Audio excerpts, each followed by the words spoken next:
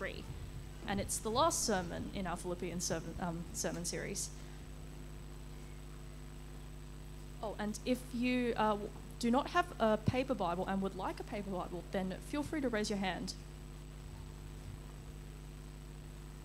Before we begin, let me pray. Uh, dear gracious Lord, thank you so much for your word.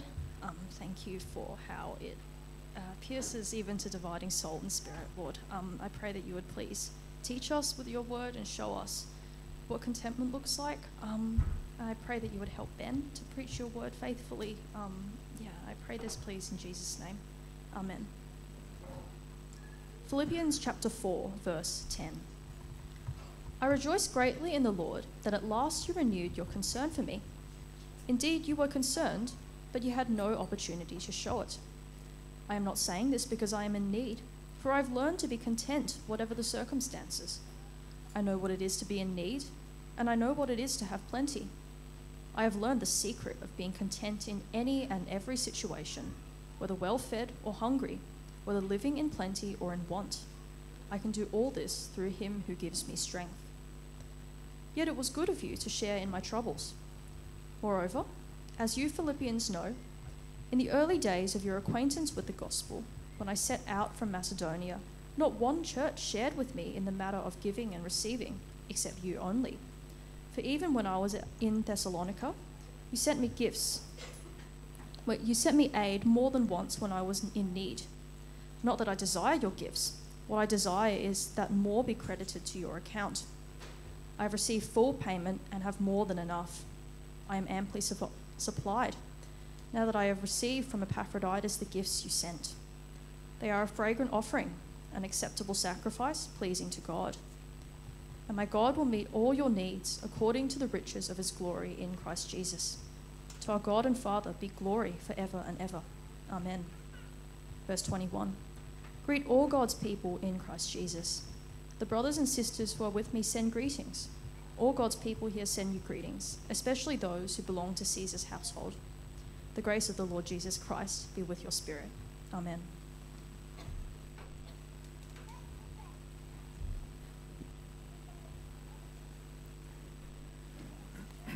Thanks, Abby. It is my first um, sermon here as your pastor, um, but every week um, I've been in uh, Sunday school and youth group with the teams, and we've been um, teaching, proclaiming God's word to them. So it's a privilege for me to be here with you this morning uh, to teach God's word as well.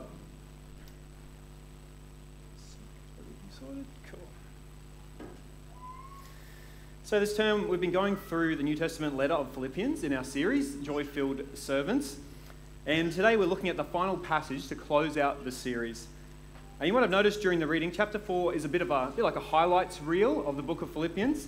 Um, Paul's reflected on most of the big themes he's been talking about.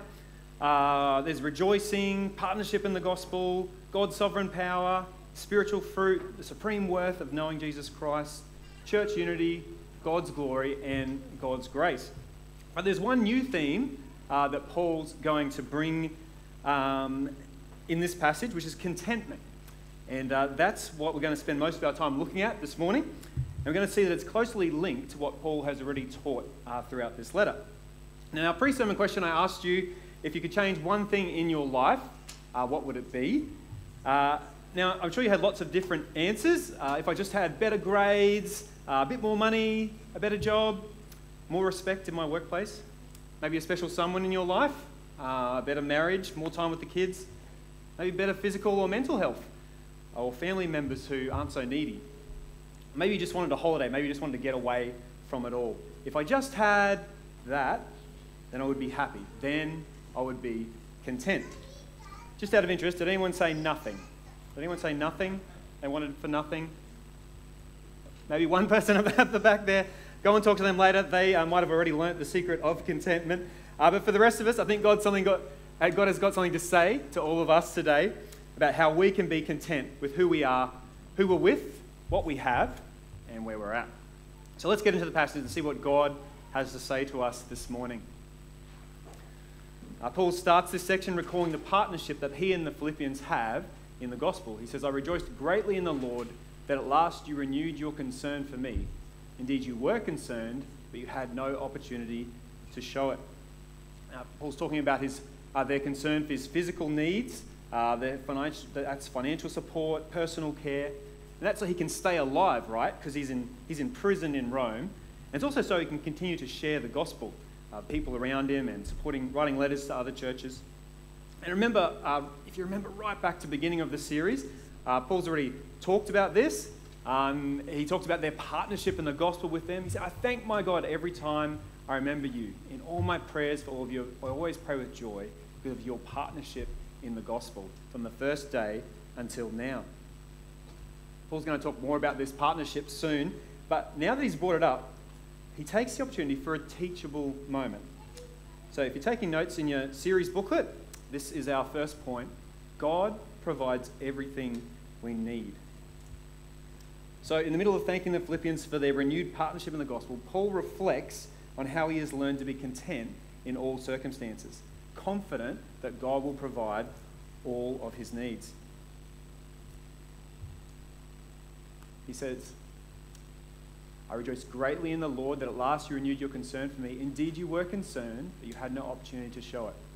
I'm not saying this because I'm in need, for I have learned to be content, whatever the circumstances. I know what it is to be in need. I know what it is to have plenty. I've learned the secret of being content in any and every situation, whether well fed or hungry, whether living in plenty or in want. I can do all this through him who gives me strength. So Paul has learned the secret of contentment. Whatever his circumstances, whether good or bad, whether he's prospering whether um, he's in need, he's learned to be content in any and every situation. But hold on a minute, let's, let's slow down a bit. Uh, what is contentment? What are we even talking about? Um, Willis gave a stab at a definition earlier. We're going we're gonna see. Um, the Greek word Paul uses can mean um, an, ex- an external state of having what is adequate or sufficient, uh, to have enough of everything you need or want, to not be dependent on anyone else uh, for your needs. But it can also mean an internal state, an attitude of being satisfied with your circumstances, an inner self sufficiency that can be sustained, whatever is going on around you, whatever your external condition. So, in, back in Paul's day, uh, the Greek philosophers, known as the Stoics, they prided themselves on attaining this second type of contentment.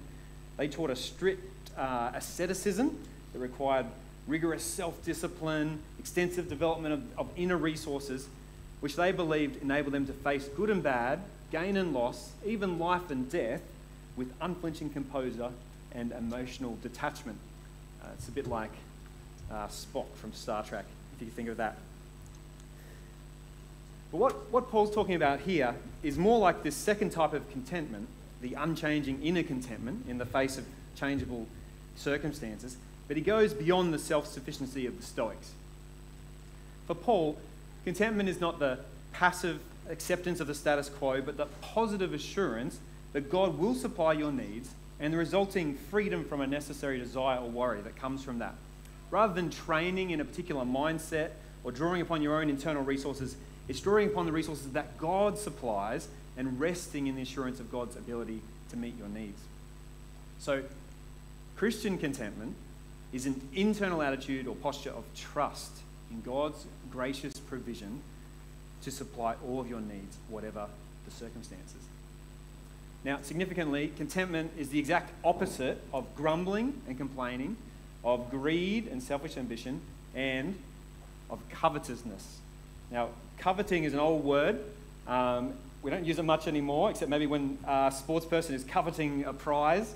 Um, but coveting is an old word which means to desire something that you don't currently possess, especially something that belongs to someone else or is not yours to have. And there's lots of places in the Bible that we can look to uh, which show the dangers of coveting rather than being content in God. Uh, places like the, the 10th commandment, for example. The Bible's also full of plenty of warnings about and cautionary tales about greed and the love of money. It's one of the things that Jesus taught about in the Gospels more than anything else. But Paul sums up these two opposite attitudes side by side in one of his other letters, in his letter to Timothy. Here's what he says He says, But godliness with contentment is great gain. For we brought nothing into the world, and we can take nothing out of it. But if we have food and clothing, we will be content with that. Then the other side. Those who want to get rich fall into temptation and a trap, and into many foolish and harmful desires that plunge people into ruin and destruction. For the love of money is a root of all kinds of evil.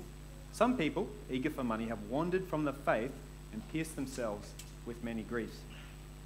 Now, if that all sounds a bit strange to you, uh, there's a good reason for that.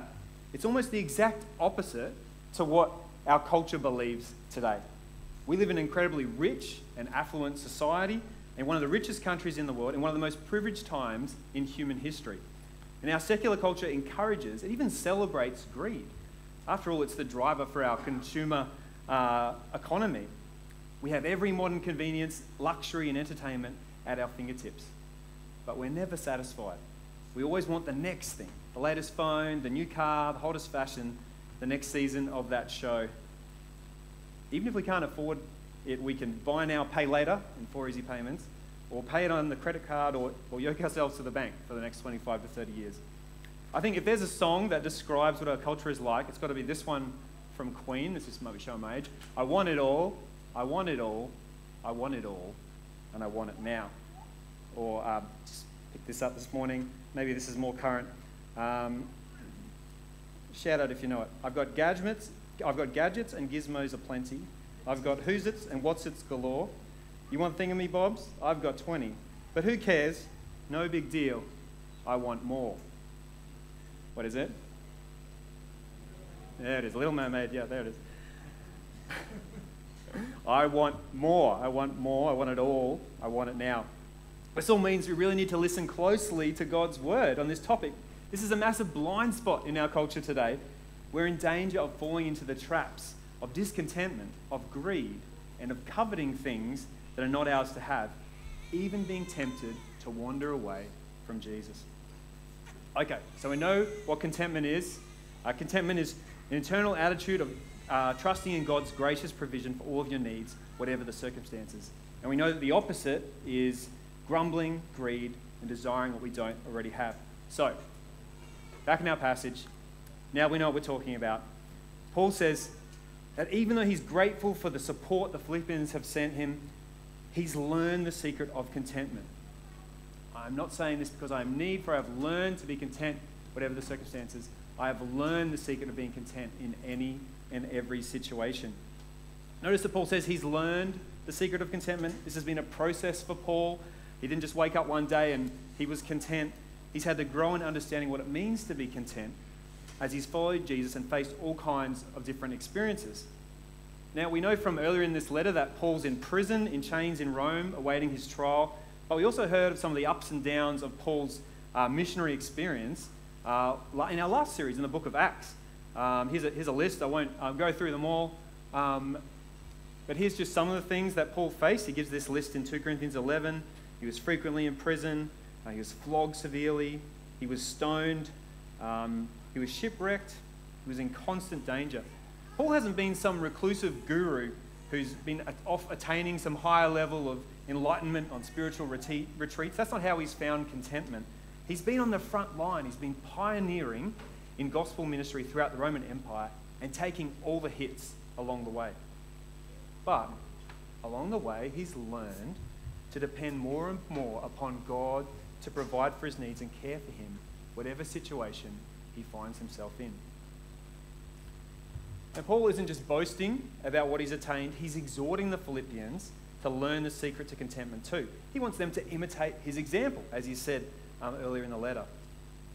And how Paul been able to face being in need, having plenty, being well fed or hungry?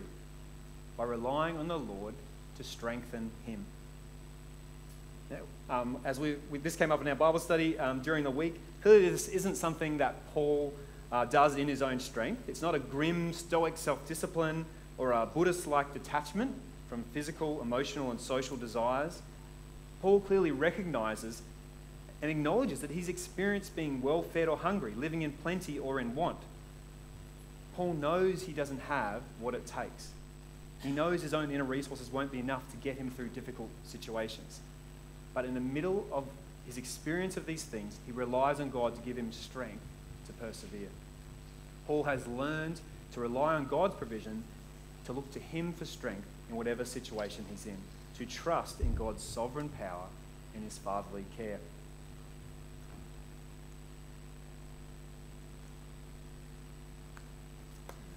What's this look like in my life?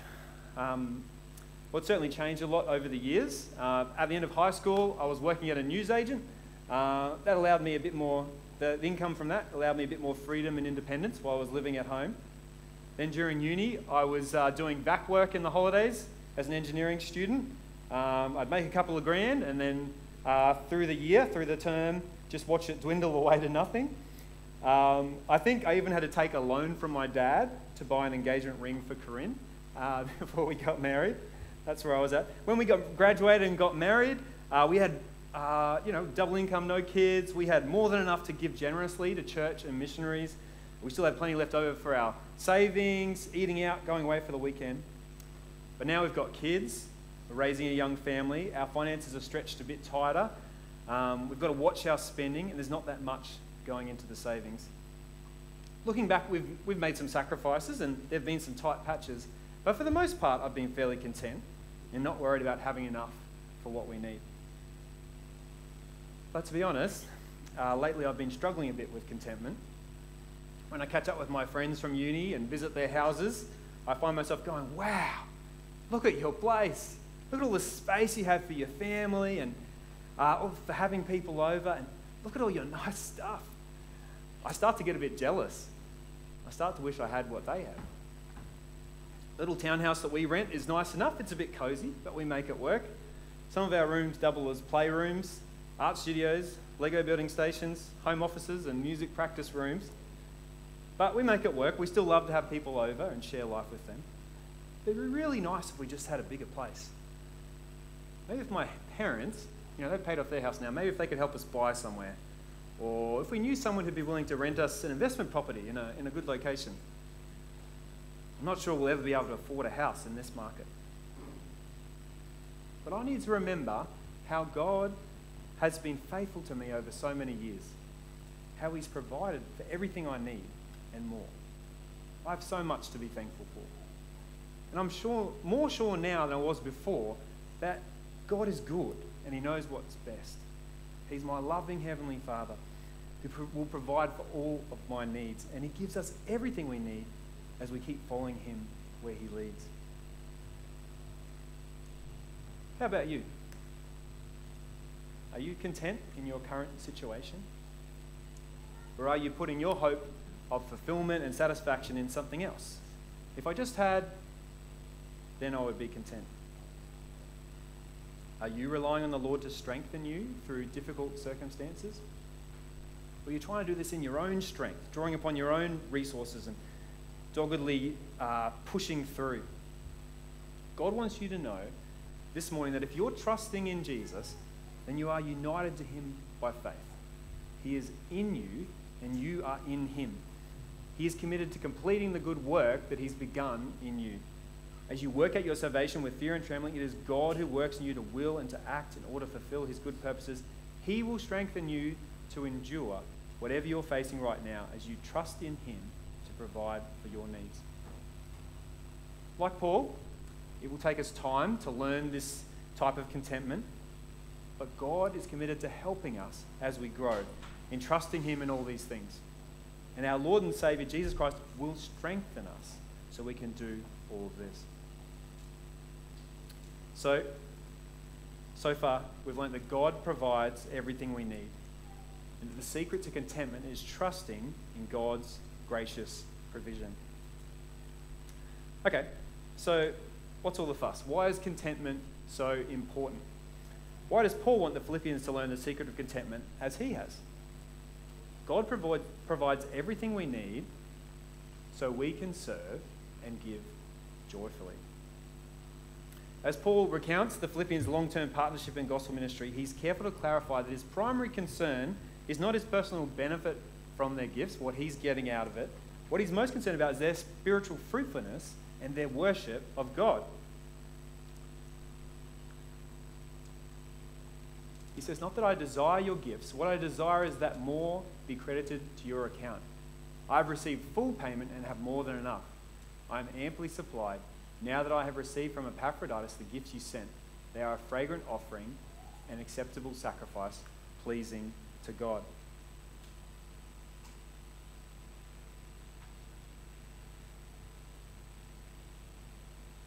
Paul is thankful for their, their long uh, sorry. Yet it was good for you to share.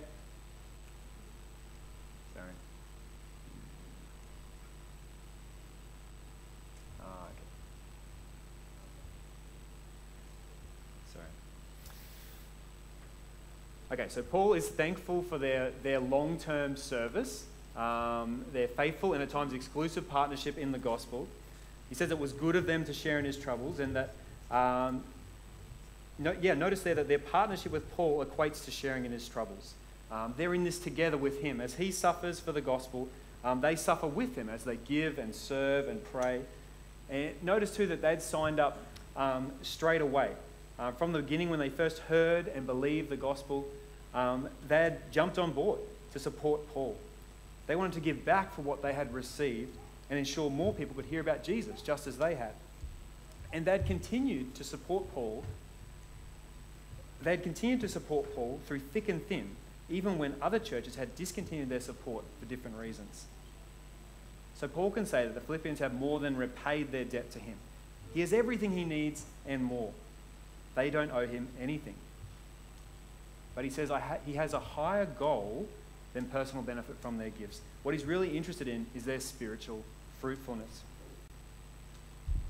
He says, What I desire is that more be credited to your account. Or in the ESV, I seek the fruit that increases to your credit. Just as Paul prayed back in chapter 1, uh, he prayed that the Philippians, their love may abound more and more in knowledge and depth of insight, and he prayed that they might be filled with the fruit of righteousness that comes through Jesus Christ. Paul's greatest desire for the Philippians is that the gospel bears fruit in their lives, and he counts their partnership with him as evidence that the gospel is at work in them. He wants to see more and more spiritual fruit in their lives. After all, if a fruit tree or a vine is healthy, it produces lots of fruit, right? Our willingness to give and serve in ministry is the outworking of the gospel in our lives. How encouraging was it last week to so, see so many people at the Serving Expo signing up to serve and um, help out in different ministry areas? And I don't know if you noticed in the email, but what an encouragement in the last week to see people giving generously towards our church budget. We went over and above our weekly goal. We knocked $10,000 off this year's shortfall. How good is that? We can praise God that He is producing gospel fruit in our lives here at CPE Church. But wouldn't it be great to see more of this spiritual fruit? More fruit as we step up to fill the gaps in our ministry teams. More fruit as we give generously and sacrificially to meet budget. More fruit as we love each other and share life together in practical ways throughout the week. More fruit as we share Jesus with our gospel friends. More fruit as we partner with gospel workers and missionaries to share Jesus here in Australia and overseas. How good would that be to see more spiritual fruit? But wait, there's more. Uh, Paul says that these practical gifts that the Philippians have given to him, they're actually an expression of worship to God. He says, I have received full payment, have more than enough. I am amply supplied now that I have received your gifts. He says, But they are a fragrant offering, an acceptable sacrifice, pleasing to God. Now, if you're familiar with your Old Testament, Paul is using the language of the sacrificial system of the Jewish people. When God's people would offer him sacrifices of animals, the fruit of their crops, the oil and wine offerings. And just imagine it, try and smell it. It's burnt meat, uh, roasted meat being burnt on the altar. There's uh, aromatic spices mixed in with the, the oil and wine offerings poured out before God. Uh, or um, sometimes the offerings were shared with the priests and uh, other people. You could eat uh, the, the offerings together in a great big feast in God's name. That was the picture of the, the sacrificial system in the Old Testament. Paul's drawing upon that imagery because he's saying that the Philippians' gifts of financial support and their, their practical help, even in the form of, of sending people like Epaphroditus, they're ultimately received by God as precious acts of sacrificial devotion and praise. And God's very pleased with them.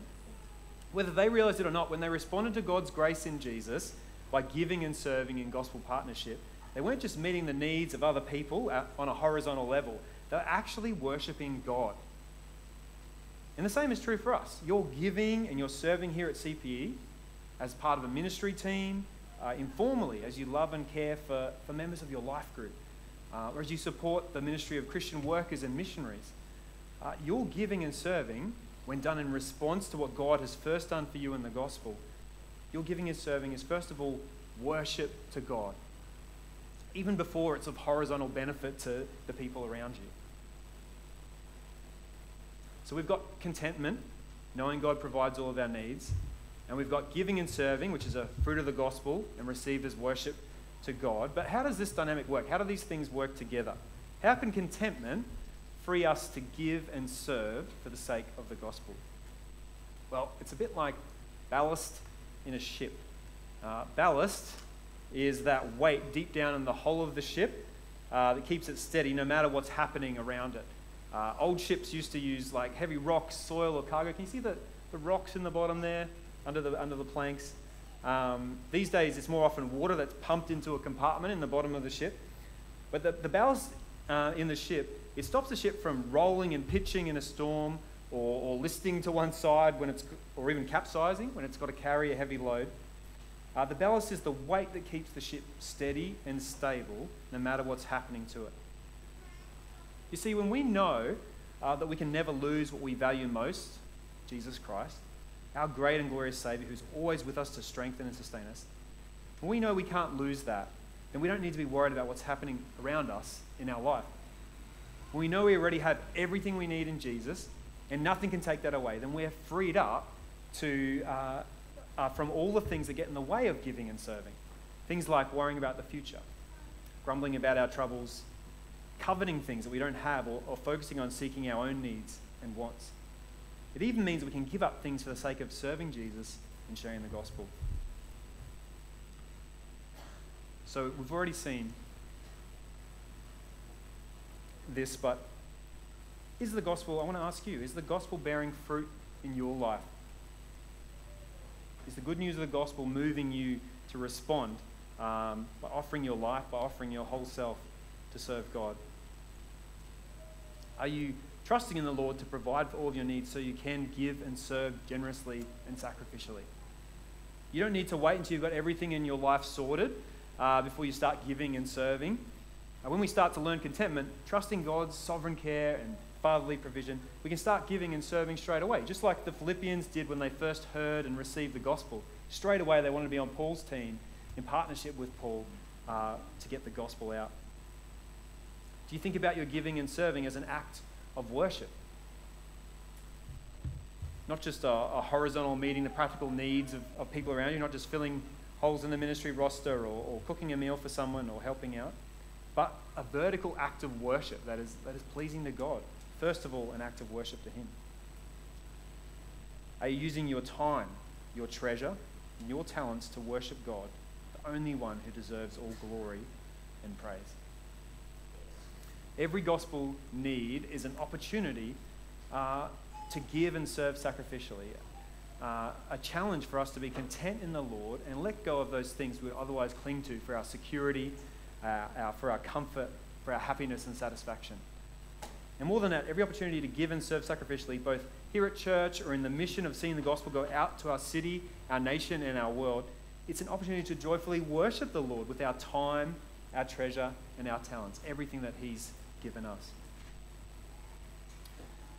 So we've seen that God provides everything we need so we can give and serve joyfully. Gospel partnership is a precious uh, spiritual fruit of God's work in our lives, and it's pleasing worship to God.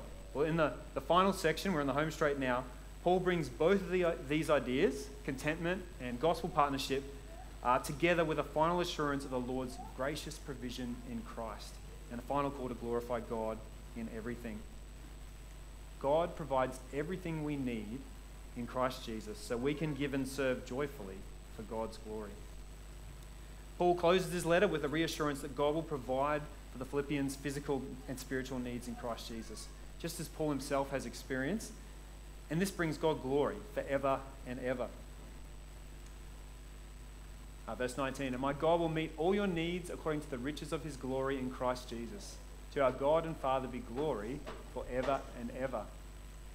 Greet all God's people in Christ Jesus. The brothers and sisters who are with me send greetings. All God's people here send you greetings, especially those who belong to Caesar's household.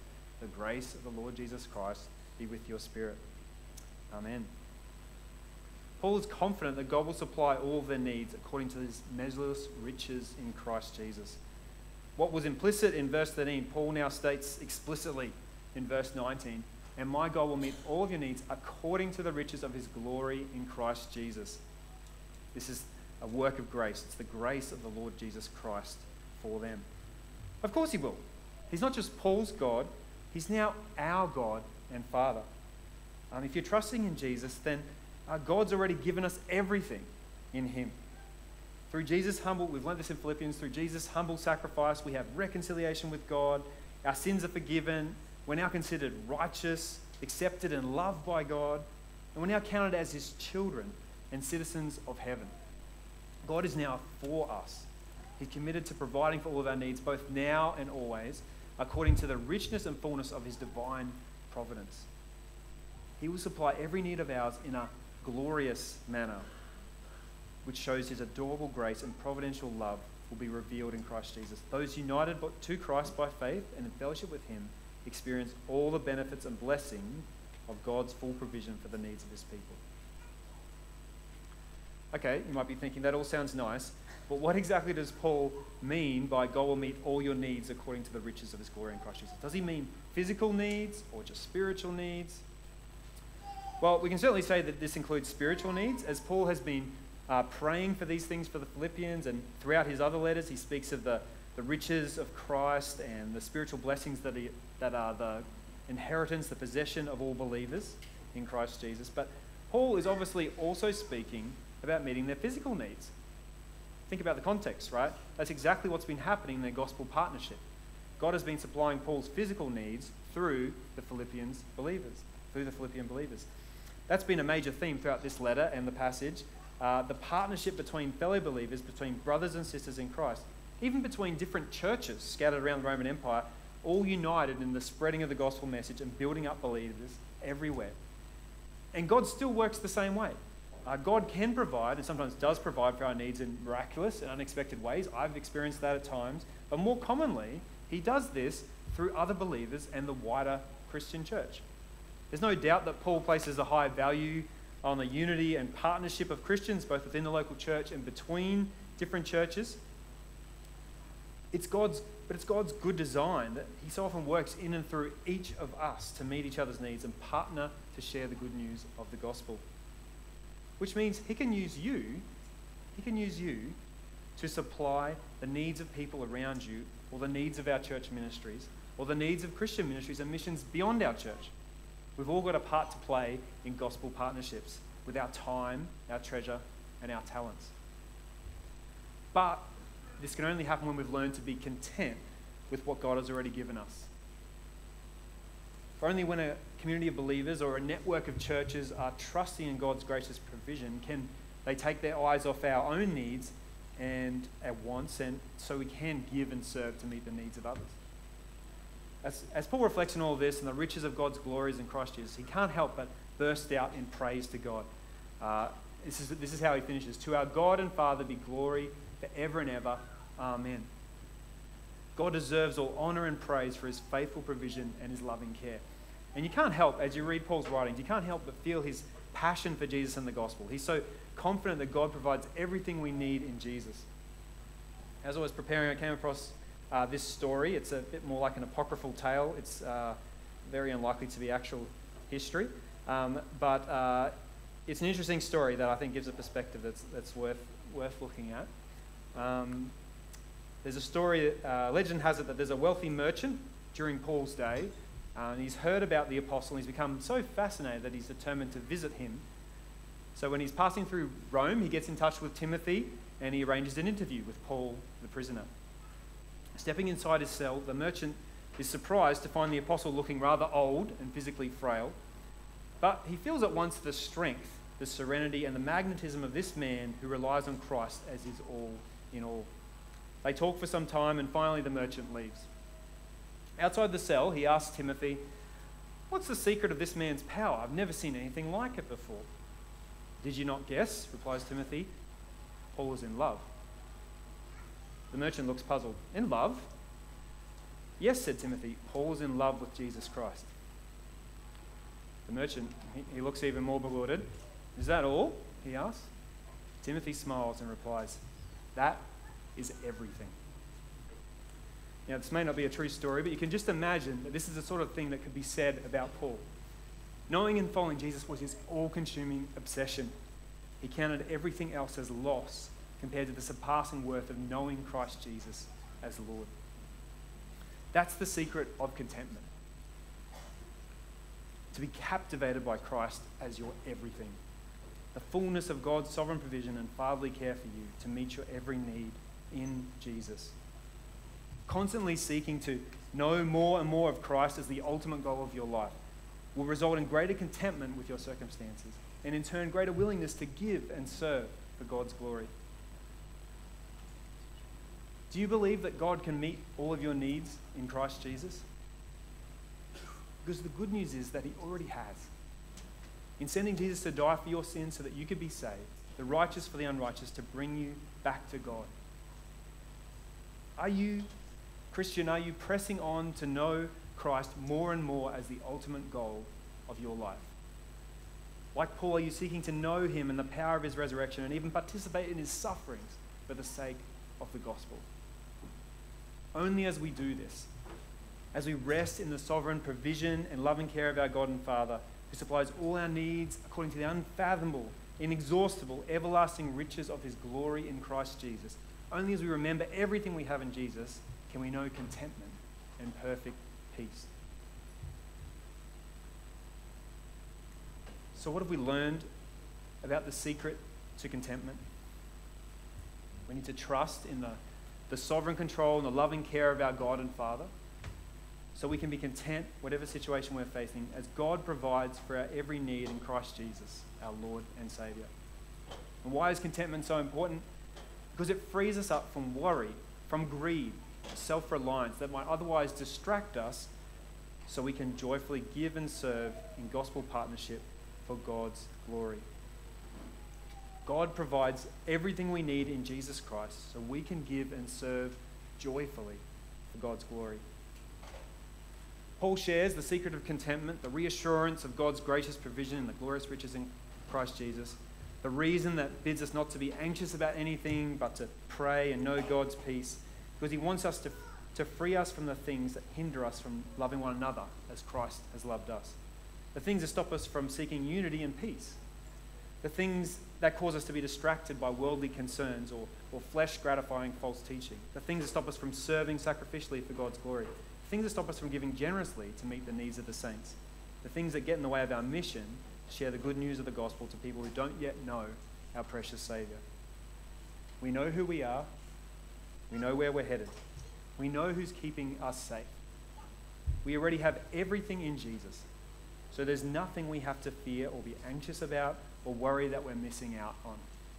We can serve sacrificially and give generously to God's mission in worship to our great God and Savior Jesus Christ because God provides everything we need in Him. Let's pray and give Him all the glory now. Won't you join me in prayer?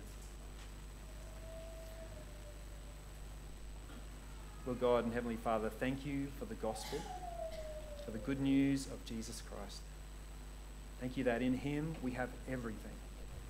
That you are now our, our God and Father committed to, to caring for our every need. Lord God, help us to be uh, people who are pursuing the Lord Jesus, seeking to know him more and more. Um, but may that be the great ambition, the great goal of our lives. And as we do this, may we know contentment uh, with our, whatever situation we're facing, with whatever circumstances we experience, so that we can serve you um, faithfully, so we can uh, worship you with our time, our treasure, and our talents, and give and serve to meet the needs of those around us. We pray that we might do this in the name of the uh, Lord Jesus Christ and for his glory. Amen.